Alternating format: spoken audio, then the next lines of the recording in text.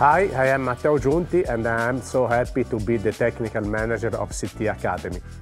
Uh, my rule is to follow the technical part of the athletes of CT Academy and uh, is important like all the other aspects. I did many mistakes in my life because uh, I thought that riding was only following the technical part or to have a trainer when you ride your horse.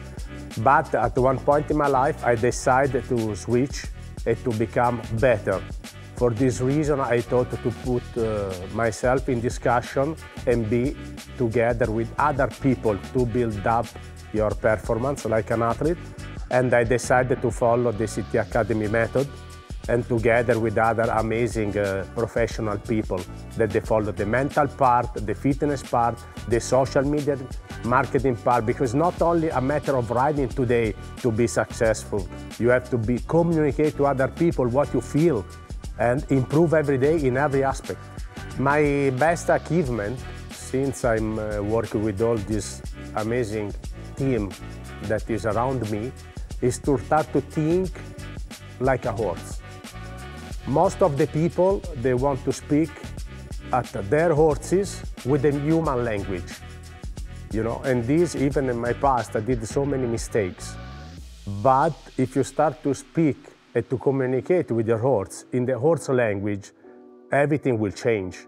Another uh, beautiful things that uh, changed my life and the CT Academy gave me the opportunity to work with a lot of really top riders that they are uh, in the top 20 in the world.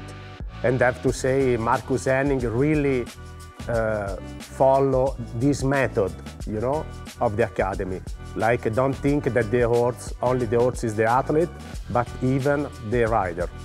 And then today we have an amazing clinic with him, and uh, every day we are learning something new. This dream today can be true. Come and ride with us. You can attempt the best shows in the world Wellington, Oliva, all the Global Champions Tour, and train with the best professional that you can find. Today, that dream has a name, and that name is CT Academy.